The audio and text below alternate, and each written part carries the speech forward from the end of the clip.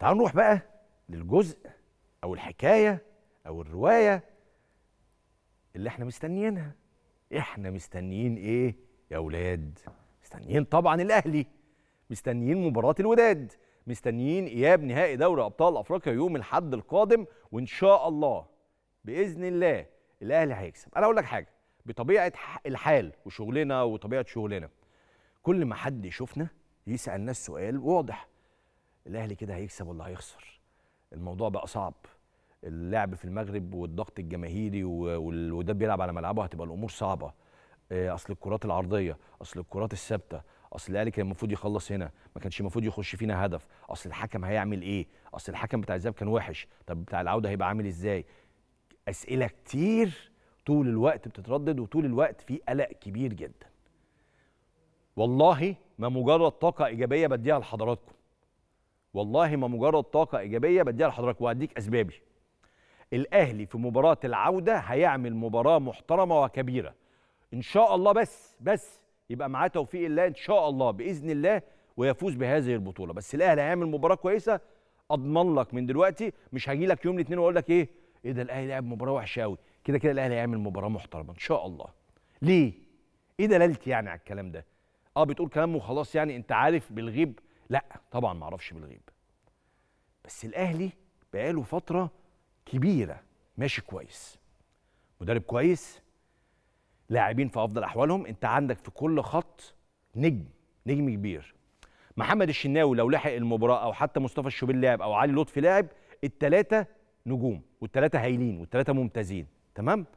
خط الدفاع في محمد عبد المنعم وفي علي معلول وفي محمد هاني وفي ياسر إبراهيم نجوم. لعيبة دولية كلها كلها لعيبة دولية وكبيرة. وسط ملعب النادي الأهلي دون مبالغة دون مبالغة. اسألوا أي حد في القارة الأفريقية. هيقول لك أقوى وسط ملعب في القارة الأفريقية دلوقتي هو وسط ملعب النادي الأهلي. مروان عطية وحمدي فتحي وأليو ديانج حتى اللي على الدكة في عمرو السولية وقفشة وقندوسي إيه ده؟ قوي جدا. خط الهجوم حدث ولا حرج. كهربا هداف البطولة. بيرسي تاو أكتر صانع ألعاب في الاهلي بتتكلم على حسين الشحات اللي بيقدم مستوى مدهش ومبهر منذ بداية الموسم. فانت بتتكلم في حالة فنية وفردية للأهلي تخليك مطمن تخليك مطمن يقدر يسجل ويقدر يدافع.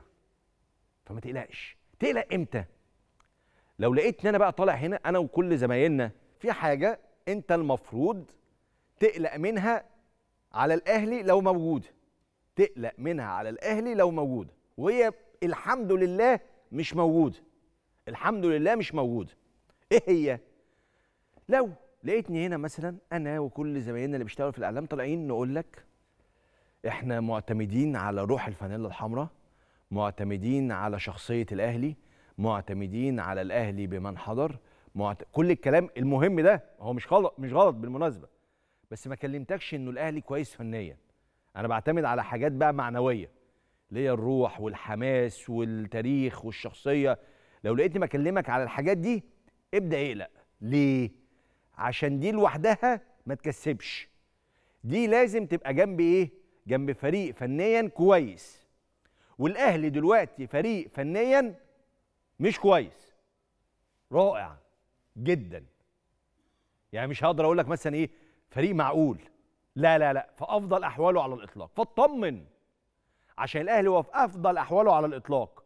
ومعاه شوية الحاجات اللي أنا قلتها لك ديت اللي هي بتاعت الشخصية والتاريخ وروح الفانيلا الحمراء لما يبقى الاثنين دول مع بعض يكسب النادي الأهلي وانت في بطنك بطيخة صيفي. فإن شاء الله الأهلي يكسب بإذن الله. توفيق ربنا إن شاء الله معاه والأمور تبقى ميسرة إن شاء الله بإذن الله. فما تقلقش ما تقلقش قوي يعني. سيب اللعيبة هي اللي تبقى مركزة بس أنت كمشجع ما تقلقش قوي بلاش أفورة في القلق. واصل الحكم واصل الظروف واصل هيحصل وكانش المفروض يخش فينا جون. الأهلي خرج من هنا كسبان وبإذن الله يرجع من هناك كسبان. إن شاء الله.